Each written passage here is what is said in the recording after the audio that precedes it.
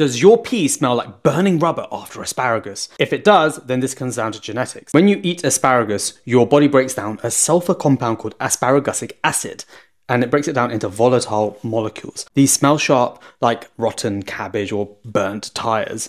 They're filtered out into your urine usually within about 30 minutes, but not everyone can smell it.